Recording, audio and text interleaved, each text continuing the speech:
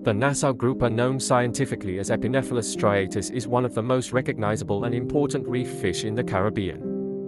With its robust body distinctive striped pattern and piercing eyes this fish has long been a symbol of both ecological health and human impact on coral reef systems. Once abundant throughout the western Atlantic and Caribbean Sea the Nassau grouper's numbers have sharply declined making it a conservation icon as much as a culinary favorite. This species typically measures between 16 and 24 inches though large individuals can reach over 3 feet 90 centimeters in length and weigh up to 55 pounds 25 kilograms. Its coloration ranges from a light tan to a deep brown with five dark vertical bars across the body and a prominent black saddle at the base of its tail.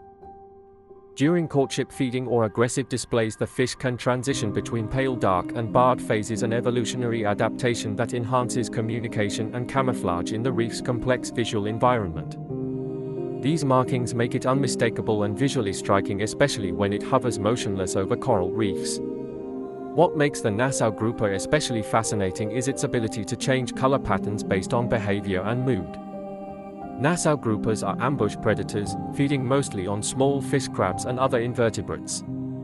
They are equipped with a powerful suction feeding mechanism opening their huge mouths to rapidly engulf prey in one swift motion.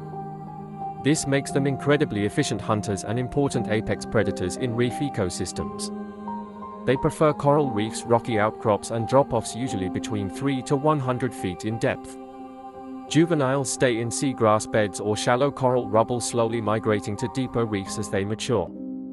Their range extends from Florida and the Bahamas to parts of Central and South America. One of the most amazing aspects of the Nassau grouper's life is its spawning behavior.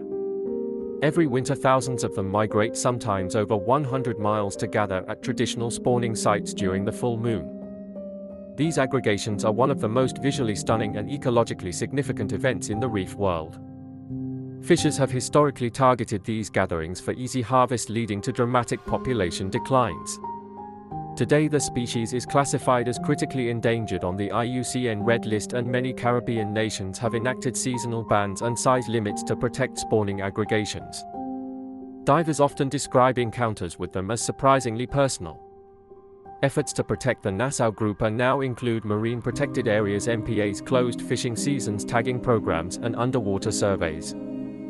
In public aquariums Nassau groupers are admired for their intelligent curious behavior and ability to interact with their environment.